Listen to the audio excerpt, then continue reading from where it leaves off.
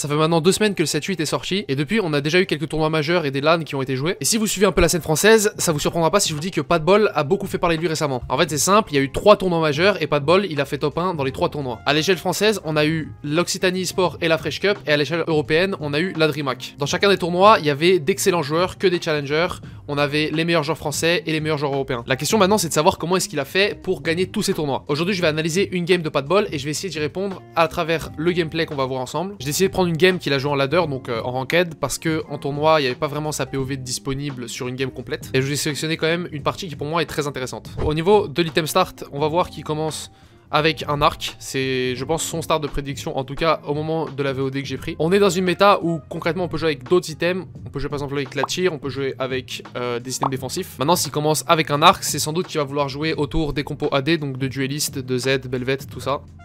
On commence par déjà récupérer la paire de Nasus et la paire de Wukong. Là, on achète concrètement tout le shop. Mais le plus important ici, c'est la paire de Wukong, la paire de Nasus. On a eu une Vi, c'est un très bon signe parce que Underground, c'est un opener très puissant. Donc déjà, c'est une bonne chose. Et puis, c'est une très bonne frontline en early Vi. On fait le Nasus 2. On va sans doute acheter le Galio, j'allais dire, mais il a acheté la Jinx. Voilà, il achète le Galio, il le joue. Jusqu'à maintenant, ce, ce, qui moi me surprend, c'est juste qu'il a joué la Jinx. Je trouve que c'est pas une unité que t'as vraiment envie de garder. Euh, J'aurais plutôt joué la hache par exemple à sa place. Mais je pense que c'est complètement correct. Après, j'ai pas beaucoup d'expérience avec Jinx en early game aussi. Et là, choix d'augmente ultra intéressant. Parce que, en vérité, les trois sont prenables. Knife's Edge, il a un start AD. C'est en vrai très très très fort. On peut le prendre et, jouer autour de ça en early game. On met toutes nos unités en première et en deuxième ligne et on a d'énormes dégâts en early game. En plus, ça va bien synergiser avec Z en late, etc. On a aussi Sriloven qui synergise encore une fois bien avec Z et avec euh, bah, pratiquement toutes les compos du jeu. C'est une bonne augmente. Sriloven 1 c'est meilleur que Triloven 2 souvent. C'est-à-dire que pour une Silver augmente, Sriloven 1 c'est très fort. Et Ben of Thieves, le truc c'est que c'est la meilleure augmente early game du jeu. Naturellement, il va le prendre. C'est la première, c'est la meilleure Silver augmente en early game. Pourquoi? Parce que ça vous donne l'équivalent de un item ennemi en stage 2 euh, quand les ennemis en ont globalement un seul. Donc vous allez avoir concrètement 2,5 fois les items de votre adversaire. S'ils ont slam un item, vous en avez un ennemi en plus. On trouve le Galio 2, on trouve le Nasus, et du coup là l'idée ça va être de jouer une win streak. On va sans doute essayer de push. Bien entendu, le Chief Gloves sur l'unité upgrade, ça c'est totalement logique. Après c'est des crits, donc on peut aussi le jouer sur un AD carry, ça a du sens. Et là on va juste rentrer le Silas, qui est pas une super unité, mais ça lui permet d'avoir Anima Squad, il peut peut-être stacker un peu des HP. De toute façon, là il a un item ennemi sur son Nasus, et il a un Chief Gloves sur son Galio 2. Euh, il est extrêmement fort, donc les chances qu'il win les rounds dans tous les cas sont élevées. Donc il peut snowball un peu avec Anima Squad, récupérer des HP sur ses unités qui sont Anima, et euh, snowball la game comme ça en fait. Alors on vend le talon, on achète la Annie. Meilleur holding euh, globalement, talon c'est pas très utile. On peut peut-être penser à talon avec Silas parce qu'il y a Renegade, mais globalement c'est pas terrible. Donc on va le Malfit. Classiquement, un super opener actuellement, c'est de jouer avec les mascottes, de jouer avec 4 mascottes. Donc dans l'idéal, il va essayer de rentrer ça au niveau 5, sans doute virer peut-être le Silas et rentrer 4 mascottes à la place. Donc je tiens à le dire quand même, c'est une game qui se joue en diamant. On est en début de saison, donc diamant 1, ça vaut au moins master euh, en saison régulière. Maintenant, euh, c'est pas très important. Ce qui compte, c'est de voir ses choix à lui. Donc, dans tous les cas, ça reste du très haut level. C'est l'un des meilleurs joueurs français. Donc, on a acheté le Jax. Euh, ça peut paraître être un achat un peu random, mais Jax est tellement fort actuellement dans la méta que, à la fois, il empêche les autres joueurs d'avoir plus de Jax parce qu'il en garde un. Et en plus de ça, il s'ouvre quand même à Jax euh, de loin parce que, bon, ses items sont pas terribles pour ça.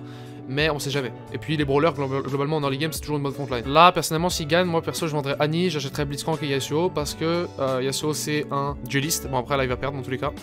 Je sais pas ce qu'il va, faire du coup. Il a pré-level bien entendu. Donc ça, on explique rapidement pour ceux qui connaissent pas trop. Euh, on voit en dessous de ma cam qu'il est niveau 4, 8 sur 10. Donc je fais exprès de garder quand même le, nombre d'XP qu'on a pour, pour vous voyez où, il en est. Maintenant il est niveau 4. Donc là, ça veut dire que pendant le carrousel, il va monter de level. Donc en fait, son prochain shop va être un shop de niveau 5. Il aura plus de chances d'avoir des 3 costs et des petites chances d'avoir des 4 costs. Du coup, c'est ce qu'on appelle le pré-leveling. Ça lui permet de continuer à essayer d'être le plus fort possible dans la game sans avoir mis deux fois de l'XP et de passer niveau 5 directement sur ce round. Il a mis qu'une fois. Du coup, il a 4 gold. Il aurait pu faire 10 gold en vendant son bench, mais c'est sans doute pas un play qui lui va parce qu'il a un board très fort, donc il a envie de continuer à gagner. Donc essayer de vendre ses options en vendant son bench, en vendant ce qu'il a sur le banc, c'est pas très utile ici. Donc là, on a une épée, on va faire un petit jeu, essayer de vous demander ce que vous, vous prendriez ici. Moi, perso... Hmm, là, avec ce qui lui reste ici, c'est assez clair ce qu'il veut. Bon, là, il a la souris dessus, mais on veut le Edge of Night parce que dans l'idée, quand on fait Last Whisper, on a envie de jouer autour de Z, c'est vraiment la meilleure unité. Et Z, s'il a Edge of Night, Last Whisper, il a tout ce qu'il lui faut pour euh, être correct dans n'importe quel game. Le troisième item est un peu plus optionnel. Souvent on va préférer un Runan mais ça reste très fort et en plus c'est 3 gold. Donc là voilà, il peut remplacer ses unités. Regardez ce qu'il fait niveau, niveau board, c'est super, euh, super fort. Et en plus il fait 10 gold en vendant le reste. Il garde son Malfit pour peut-être essayer de faire 4 mascottes. Vu qu'il a 2 mascottes upgrade, faire 4 mascottes c'est très fort, ça fait beaucoup de healing. Là c'est un stade de la game où dans tous les cas on a envie soit d'être niveau 4 et d'avoir fait 20 gold, soit d'être niveau 5 et d'avoir fait 10 gold. Dans 90% des games, c'est ce qu'on veut faire. Euh, parce que c'est très important de quand même avoir un, semblant d'économie. Si vous êtes trop derrière par rapport aux adversaires, ça va être la merde. Et en plus, son shop, là, il a rien, de, euh, rien du tout dedans, ce qui est vraiment intéressant. Genre, euh, talon luxe est tellement faible que son shop, on considère vraiment qu'il est faible de fou. Dans tous les cas, il faut faire 10 gold ici. Là, on prend le premier dueliste de la game. forcément, avec ce système, on va vouloir s'axer dueliste. Il faut qu'on ait des duelistes pour ce stage 3. Et je pense que c'est un stage 3 qu'on va commencer à avoir des plays vraiment intéressants. Parce que actuellement, sur TFT, au moment où je fais cette vidéo, le stage 3 et le début de stage 4, c'est les moments les plus importants, les plus impactants de la game. Il faut vraiment jouer autour c'est le secret de la méta actuelle. Je compte faire une vidéo très prochainement sur un, play, sur un playstyle euh, chinois, un peu la même, le même genre de vidéo, une analyse d'un joueur chinois, parce que les Chinois ont développé euh, leur stage 3 d'une façon totalement... Euh, totalement agressive, complètement différente de ce qui se fait classiquement dans TFT, et je pense que ça peut être très intéressant à analyser. Donc là, sur son shop, on revient un coup en arrière, on voit qu'il avait rien. Il avait quand même une Nila qui l'emmenait vers Duelist, mais ça coûte 3 gold, c'est super cher. Autant tout vendre faire 20 gold. J'aime beaucoup ce play. Il a pas vraiment un shop intéressant, il a pas vraiment un banc ultra intéressant, il a juste la Nila qui à peu près euh, peut rentrer au bout d'un moment. Donc là, on décide de faire 20. Euh, ça a totalement du sens. En plus, c'est très intéressant de faire 20 gold ici, parce que là, il va être garanti 28 gold, vous allez voir, il va être à 28 entre la streak, euh, l'économie, les, les, les gold de base, etc. Et 28 euh, gold, ça veut dire qu'il lui manque juste 3 gold, ou 2, mais bon, 3 parce qu'une box donne minimum 3 gold. Il lui manque une seule box qui lui donnerait 3 gold pour pouvoir faire 30. Donc du coup, il fait beaucoup d'économies. Je génère beaucoup d'économies en faisant 20 ici. Donc avec ce système, il reste quand même ouvert à un potentiel out autour de Vayne et Kaisa. Donc vous connaissez un peu peut-être cette compo où vous jouez Kaisa, Vayne, Riven. vu qu'il a un début d'Anima Squad, c'est quand même très intéressant. Pour ceux qui se demandent, actuellement, je suis autour de rang 200 sur le ladder personnellement. Et je joue très rarement autour des animations dans les game, donc il y a beaucoup de choses à apprendre là-dessus. Moi, j'aurais pas fait cet opener là exactement pareil. On voit qu'il a un autre gant. Maintenant qu'il a déjà fait de la Swisper, c'est pas forcément super intéressant. Il peut faire un autre Thief Gloves, il peut faire une IE potentiellement, mais euh, faire par exemple une Hoge, c'est pas un item terrible. Un Jewel pas, pas non plus. En vrai, je sais même pas à quel point c'est correct de faire ça. Forcer vraiment l'augmente. Je pense que c'est ok. Alors là, je suis obligé d'avoir l'augmente Vein. Et l'augmente Edge of Night Vein, elle est vraiment bien pour le coup. Parce que j'en ai déjà un. Et que du coup, là, je vais a priori jouer dueliste, voire potentiellement. Euh, la, la compo, euh, je sais ni la veine, euh, Keisa, je me suis lui donner un nom un jour. Vous voyez, vous avez entendu ce qu'il vient de dire, c'est super intéressant. Donc il faut comprendre que euh, les, les augmentes de héros, donc là il n'a pas encore eu la sienne, là il n'a pas encore eu son augmente de héros, donc il a, euh, je crois, 30% de chance d'avoir une augmente de héros encore ici, si mes maths sont bons. Et là comme il a vraiment que Anima Squad d'actif à gauche, et que on est sur une deuxième augmente, il peut avoir que des 2 ou 3 costes, si j'ai pas de peut-être des 4 avec un peu de chance, avec 15% de chance il me semble. L'idée c'est que il a beaucoup de chance d'avoir une héros augmente ici, et euh, en rentrant que des Anima Squad en enlevant le Galio, ça lui permet d'avoir beaucoup plus de chance d'avoir l'augmente Vein Into the Night, qui est une augmente qui, euh, je vous rappelle, donne un Edge of Night, un manteau de la nuit, et qui vous donne de l'attaque speed sur les unités qui portent un manteau de la nuit. En plus, il en a déjà un, donc c'est super fort ici, et ça va super bien dans sa compo, donc c'est ce qu'il veut, donc c'est pour ça qu'il sera un peu plus faible. C'est pas très important de gagner et perdre ce round, dans tous les cas, il a pas une streak, il a pas de... Vous voyez, il est en deux de win streak, euh, il y a pas, on peut pas forcer la win streak de fou ici, on n'a pas un board de malade mental non plus. Il a aussi pu push le Galio, mais du coup ça lui baisse ses chances d'avoir l'augmente de Vayne. Voilà, dans tous les cas, il gagne le round, donc euh, bon, après il est tombé contre un mec, je pense, qui est un peu faible, qui est en train d'attendre pour faire euh, son, spike, pour devenir fort d'un coup. Et là, on va se retrouver du coup avec quoi comme augmente? Into the Night, comme je vous l'ai dit, voilà. Il a Into the Night, il a même l'augmente MF qui est super forte à ce stade de la game, c'est vraiment une augmente de fou parce que, bah en fait 20 gold tous les 3 rounds à ce stade de la game, ça s'est décuplé de fou furieux, c'est un truc de malade. Mais Into the Night ça le rend tellement fort, il a encore, il a déjà un GA, il est obligé de prendre ça. En plus il a l'Anila, donc là il a vraiment un, il peut rentrer vraiment un truc de fou. Il pourrait même remplacer ce, Galio par une Yumi pour faire, euh, pour rentrer Star Guardian, c'est sans doute moins fort parce que bah ça lui, ça lui enlève un Galio 2. Euh, maintenant il pourrait mettre le, le, TG sur la Riven, ce qui est très fort aussi. Et donc on parlait de Z, mais là il est aussi sur un opener où il peut carrément jouer Vayne, il peut même jouer les deux en même temps. Il peut jouer un peu ce qu'il veut entre les deux. Euh, Vayne avec des systèmes AD c'est très fort, elle est pas obligée d'avoir juste de l'attaque speed ou je sais pas quoi, elle est vraiment elle a vraiment un très bon scaling sur l'AD, donc on peut la jouer avec euh, par exemple la Swisper, on peut la jouer avec euh, IE la Swisper, c'est très fort. Donc là on va vendre tout ce shop, on va vendre tout ce bench, même si on a des unités sympas dessus et qu'on a un win streak, c'est pas non plus assez intéressant, il n'y a pas assez d'unités sur le shop non plus, donc là on fait 50 gold, et on se retrouve sur un setup où on peut même push le niveau 7 parce qu'on a 5 de win streak. Donc je sais pas si c'est ce qu'il va faire honnêtement, j'ai pas vu cette partie de la game, mais euh, moi je pense que c'est ce que je ferais, je passerai niveau 7 et je rollerai un peu, parce qu'il y a carrément un potentiel de ouf d'avoir euh, de, très bonnes sorties, en plus là il a un Z qui a un potentiel Runan avec cette, cette cloak, il a vraiment vraiment une grosse grosse sortie. Donc là voilà. Je pense qu'il va push voilà. Il va push niveau 7 et là on va peut-être roll un peu non? Faut qu'on rentre ce, quatrième dueliste non? Voilà il roll un peu quand même. Il peut rentrer juste là le blanc si jamais mais voilà je pense que ça va juste être Fiora over, quelqu'un.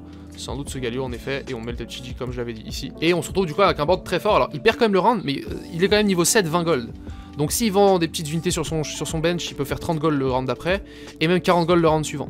Donc en fait, il peut même se retrouver à 50 gold après les wolves. Niveau 7, 50 gold. Je sais pas si vous connaissez un peu de TFT, mais c'est quand même une très bonne économie. Maintenant, il va juste falloir attendre ce stage 4, plutôt, et euh, essayer, de, essayer de voir ce qu'on peut faire. Alors là, juste, il proc son admin pour un peu voir ce qu'il y a au cas où, garder les options, voilà, mais bon, c'est rien de fou. Et voilà, on décide de vendre, regardez, ça c'est très important, ça je sais que beaucoup de gens l'auraient pas fait. Il a vendu, je vous remets un coup, il a vendu cette Kaisa et cette Zoé euh, parce qu'il est en mode là j'ai Z, ok? Euh, GZ qui a des items de fou, qui a un potentiel Runan, Last Whisper, GA, c'est ses meilleurs items. Il a l'augmente de Vein qui va super bien avec Z, vous jouez en 4 ou 6 duellistes et vous lui mettez le GA, il a beaucoup beaucoup d'attaque speed. Euh, il a vraiment une grosse sortie Z, donc pourquoi est-ce qu'on perdrait plein de gold à, à travers les rounds, etc en gardant cette Kaisa. Parce que là, s'il fait pas 30 gold, il pourra pas faire 40 gold next round. Alors que là, s'il les vend, peut-être qu'il peut le faire. Du coup, il peut gratter même 2 gold juste sur cette vente. Donc, il vend, ses, il vend ses unités pour 9 gold, mais dessus, il gagne potentiellement 11, voire 12, et ça peut snowball encore plus dans la game avec le temps. Donc, en, gagnant ce round, on va vendre. On va faire 30 puis 40 next round dans l'idéal. Et après, dans tous les cas, l'idée, ça va être de, de redescendre en gold au début du stage 4. Et là, on redescend en gold complètement. Là, on va aller chercher du coup des upgrades. Il faut absolument avoir un board bien plus puissant que ça. On pourrait se dire, putain, on est trop bien, on a 50 gold, euh, on est niveau 7, on va juste aller au niveau 8 tranquillement. Mais s'il fait ça avec, ce, avec un board pareil, avec le board comme il avait, il va faire 0 kill. Il fait 0 kill, il affronte 3 personnes, parce qu'il doit attendre au moins 3 rounds pour passer niveau 8 et avoir un, roll down correct. Il va affronter 3 personnes, il va prendre des moins 15, moins 15, moins 15, donc il perd 45 HP. Alors que là, il peut juste perdre un peu de son économie, upgrade un peu ses unités, et dans le pire des cas, on va sauver des HP, dans le meilleur des cas, on va gagner des rounds. Il a slam cette QSS, vous voyez, il a fait cette QSS sur le, sur le Z. Pourquoi est-ce qu'il a fait ça à votre avis? Parce que bah, il veut gagner. Il, a, il, voulait gagner ce round là, il pouvait sans doute le battre, le mec. Et il n'a pas eu d'item très intéressant sur son bench. Là, il peut pas faire grand chose avec cette cloak, euh, avec les items à gauche. Donc, il se retrouve avec trop d'items. Donc, il décide de faire cette QSS qui, en fait, je m'impose un coup, a une bonne synergie avec le Last Whisper. La QSS ici, elle va euh, donner 30, elle va donner 20% euh, de crit, ce qui synergise bien avec le Last Whisper qui donne de l'AD. Donc, les crits vont mieux avec l'AD.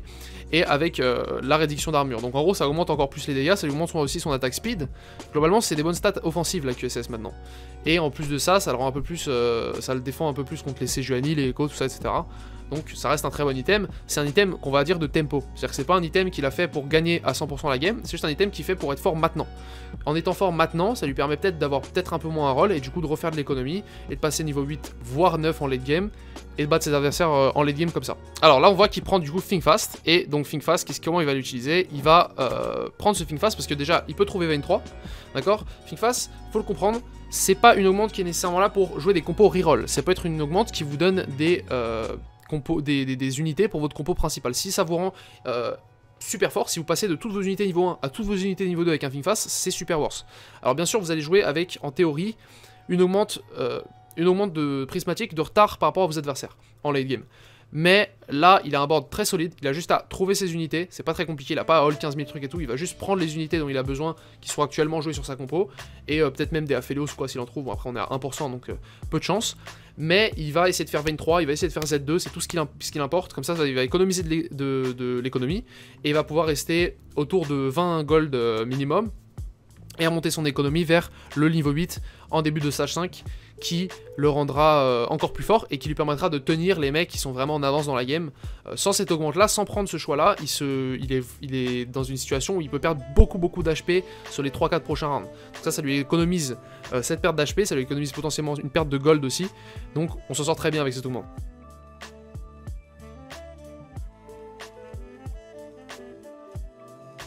On a trouvé des aides, on a trouvé des veins.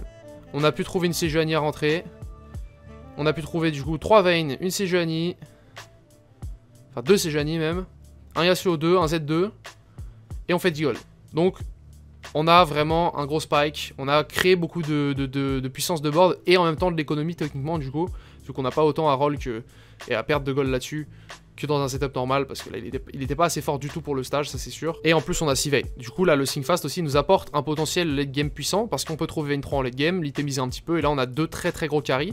C'est, euh, vu qu'on est un peu en début de set, je vous en parle maintenant, c'est l'une des spécificités de ce set, les, par rapport aux autres en tout cas, les carries principaux n'ont plus assez de dégâts pour être seuls dans les compos. On a souvent besoin d'au moins un deuxième carry. Avant, on pouvait avoir des compos, euh, comme par exemple, je sais pas, la compo Xayah, où euh, avant le très très late game, Xayah pouvait faire l'intégralité des dégâts. Elle pouvait avoir 95% des dégâts, c'était pas un problème. Maintenant, si on fait ça, le problème c'est que les items ne scalent plus autant qu'avant. Les unités sont très fortes de base, mais les items ont moins d'importance, du coup, ils nous permettent moins de décupler la puissance d'une unité, et on, va souvent avoir besoin de deux unités pour euh, détruire une, frontline classique. Là, par exemple, vous voyez, sans cette veine, euh, il fait moins de kills, ça c'est une certitude. on joue autour d'une épée et une rod, on va sans doute vouloir itemiser un peu la veine à ce stade, ou alors peut-être faire de l'anti sur cette CGNI. Bon, là, le Zac est parti, qui pouvait faire un Morello, mais sinon on peut faire une Deathblade, on peut faire une IE, on peut même faire un Jewel, c'est ok. On peut aussi prendre la Spat, voilà, on va faire sans doute une IE sur cette veine, je pense pour garder euh, la rod et potentiellement avec un arc faire une Ginzo. Et je crois même pas être tant contesté que ça sur VZ en plus. Lui il va le jouer, mais c'est pas vraiment son carry, puis lui il va top 8 à la vitesse du cauchemar. Sont tous en AP en fait, tu vois. Donc j'aurais pas eu de problème à trouver Z2. Non, je pense que c'était un mauvais choix en vrai. Mais j'ai eu, bon, j'ai voulu le prendre un peu rapidement, Mais je pense pas que c'était, je pense que c'était un mauvais choix. Donc là, il analyse son lobby, et ce qui est intéressant, c'est de voir ce qu'il a dit, c'est-à-dire qu'il a dit Thinkfast pour lui c'était un mauvais choix parce que en regardant son lobby au final de plus près, on voit qu'il y a beaucoup de gens qui jouent AP, donc il y aurait personne qui l'aurait vraiment compté sur Z, il y a un mec qui a un Z, voilà c'est ce mec là euh, qu'il affronte actuellement, mais il aurait pu trouver Z2 assez facilement au final. Euh, il aurait perdu de l'économie, certes, beaucoup d'économie, beaucoup de puissance de board, comme je l'ai dit tout à l'heure, mais il aurait eu une augmente prismatique en plus pour le late game. Moi, je pense pas que ce soit un mauvais choix, très honnêtement, parce que je pense qu'une fois qu'il a 23 et Z2 bien stable, donc bien, comme là ils sont en fait, avec des items, etc., euh, et qui fait une petite euh, compo autour de ça, il peut aller au niveau 8, il peut aller au niveau 9. Je pense que avec la tempo qu'il a mis dans ce lobby, c'est-à-dire qu'il avait tellement, de, je trouvais qu'il avait, il avait, il a fait beaucoup de win streak dans cette game, du coup, il a vraiment euh, pris beaucoup de pression, il a, empêché les gens de faire des win streaks contre lui, etc. Donc il a créé euh, de l'économie pour lui et il en a enlevé aux adversaires techniquement. Je pense que appuyer encore le coup avec un think fast ici, c'est pas un mauvais choix.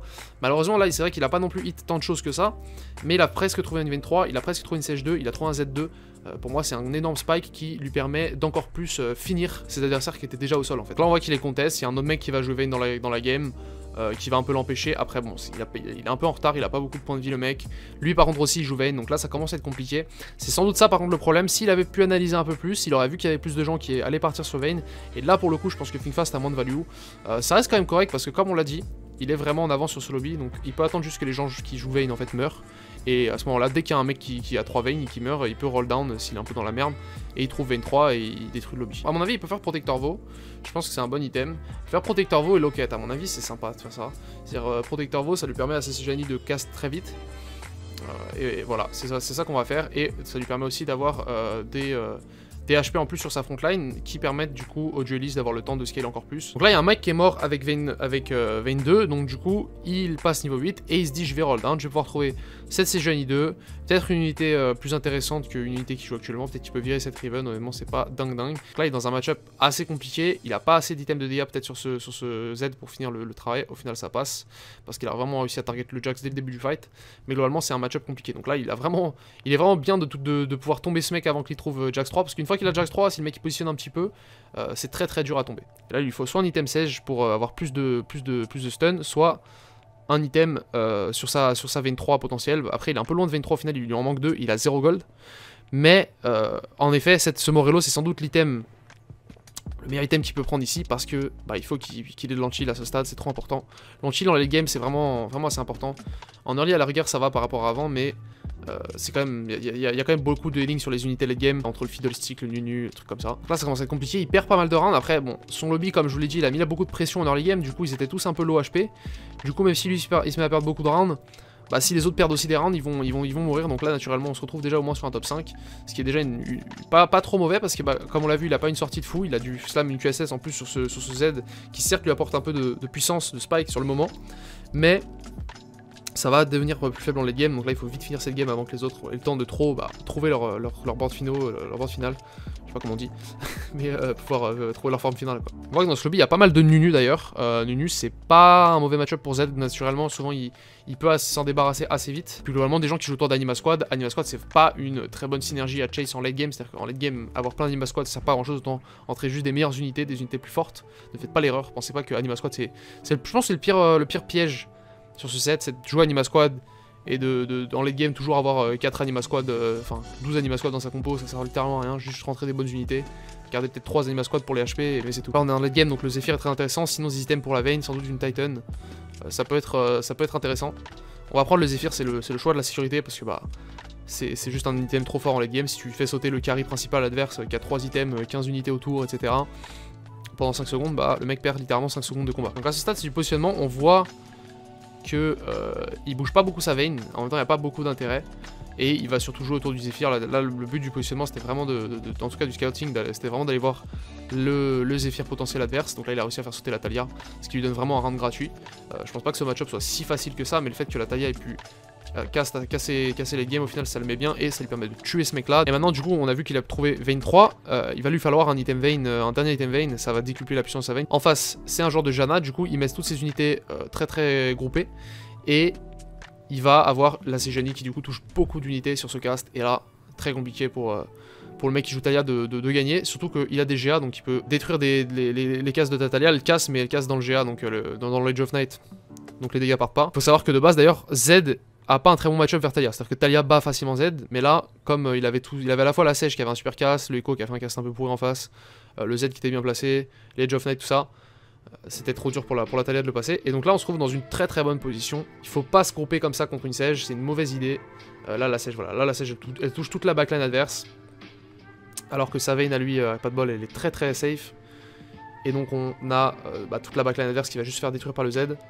Alors on garde, on- ça reste quand même une, une Riven 3, donc faut pas non plus faire trop le malin, mais on gratte en tout cas beaucoup d'HP sur ce, coup-là, et peut-être qu'il aurait pu même mourir, euh, il aurait pu avoir qu'un seul HP ici. Et donc là on va récupérer un item Vayne, et au final Blue Buff Vayne sans doute. Soit, soit Blue Buff Vayne, soit Blue Buff Sage.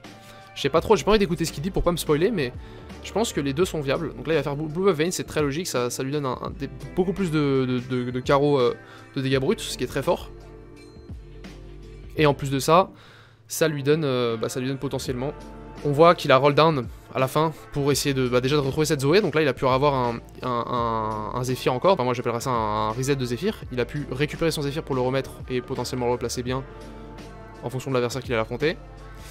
Et donc là, malheureusement, ça finit. Mais vous voyez, avec les HP qu'il a économisé sur le round juste avant, en mettant bien sa sèche, et bah, il fait top 2. Et ça vaut 10 LP ça. Et ça, sur une saison, si vous faites ça euh, bah, 10 fois, ça vous fait 100 LP. Sur quel point on peut revenir avec cette analyse de gameplay? Je pense qu'il y a deux points majeurs qui se rejoignent. Ça va être les augmentes. La première augmente, il prend Ben of Thieves au lieu de prendre quelque chose comme Knife Sage, etc. Pourquoi? C'est en fonction du moment de la game. On était sur un moment de la game, on était sur la première augmente. Ce qui veut dire que prendre Bed of Thieves à ce moment-là, c'est super fort. N'hésitez pas à le faire dans votre game, prenez cette augmente en première augmente si on vous la propose. Bed of Thieves 2, c'est aussi très fort, avoir deux TG en early game, c'est pas mal du tout, mais c'est un cas où il va falloir être sûr d'avoir une euh, bonne composition. Vous ne prenez pas ça si vous avez vraiment littéralement aucune euh, upgrade, aucune paire, rien du tout, parce que le problème c'est que vous allez essayer de devenir fort alors que vous n'avez pas de board de base, donc ça sert un peu à rien parce que bah vous avez juste pas strict et arrivé en late game cette augmente elle a beaucoup moins de value. Ensuite sa deuxième augmente, encore une fois il a sorti le Galio pour mettre la Vayne à la place. En 3-1 on va enlever le Galio et mettre la Riven à la place pour se retrouver avec que d'Anima Squad à gauche et avoir beaucoup plus de chances de trouver une augmente Vayne ce qui est très fort avec la sortie qu'il a actuellement. Et aussi, en late game, faites attention à qui vous optimisez, comment est-ce que vous décidez de- d'agencer votre game. Une erreur que je vois beaucoup à Bailo, du tunnel vision Vayne, en mode ouais, j'ai une augmente Vayne, euh, j'ai des anima squad, bah je vais juste jouer Vayne et mettre tous les items sur Vayne, on oublie tout le reste et voilà, et Z il est juste là pour, euh, pour aider à avoir des duelistes. Non, là Z ça peut être un carry principal, là c'était le carry principal concrètement, même si Vayne est niveau 3 ça reste un side carry, Z fait la plupart du travail, parce qu'en face il y a que des backlines, du coup Z il va taper dans la backline. En tout cas voilà, moi je pense que pas de il a euh, une très bonne compréhension du set, il a une euh, vision de jeu de façon qui est excellente. Je pense que ce qui fait qu'il gagne autant de tournois actuellement, c'est qu'il doit avoir une très bonne préparation, c'est-à-dire qu'il a dû beaucoup bosser, des compositions, euh, que ce soit en PBE ou après. Et à mon avis, il a aussi une belle vision du système d'augmente. Il a une belle vision de comment optimiser ses zéro augmente et comment jouer autour. Là, on a vu une augmente assez classique. Into the Night, c'est une augmente très forte de Vayne qui est très connue. Mais je pense qu'il doit avoir un bon panel d'augmentes. Il doit, il doit maîtriser beaucoup de sorties d'augmentes différentes. En tout cas, merci beaucoup à vous d'avoir regardé la vidéo. N'hésitez pas à aller voir mon guide du positionnement dans lequel j'explique comment positionner toutes les unités du jeu. Et euh, moi, je vous dis à la prochaine. Salut tout le monde.